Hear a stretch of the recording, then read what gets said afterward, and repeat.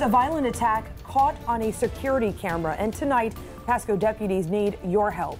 Take a look at this man. He grabs a concrete block, shatters a car window, and then grabs a woman by the neck.